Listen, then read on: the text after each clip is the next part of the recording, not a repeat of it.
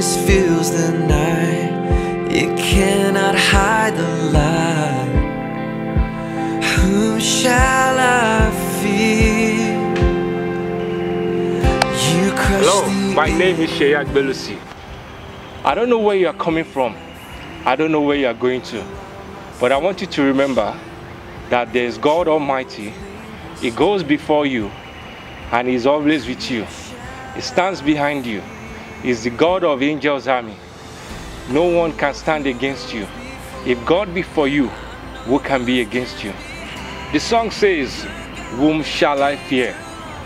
The question is, what are you afraid of? What are you afraid of starting? What are you afraid of doing? What would you love to do? How would you love to live? How would you like to exit from this world?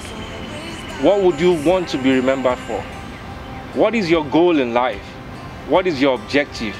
What do you want to achieve?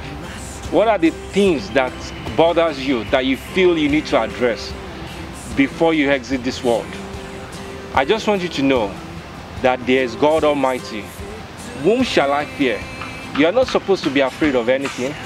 Bible says that greater is he that is in you than he that is in the world. My brothers and sisters, my leaders, the future leaders, you are the one the world is waiting for. The entire world is counting on you. Let God lead you. Let God guide you. It will be well with you and everything you lay your hands on. Bible says he will be with you wherever you go, so you don't have to be afraid. The God of angels army is always by my side. I the one who reigns forever.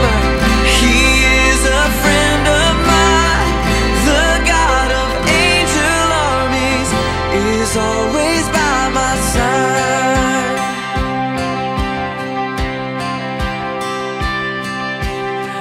My strength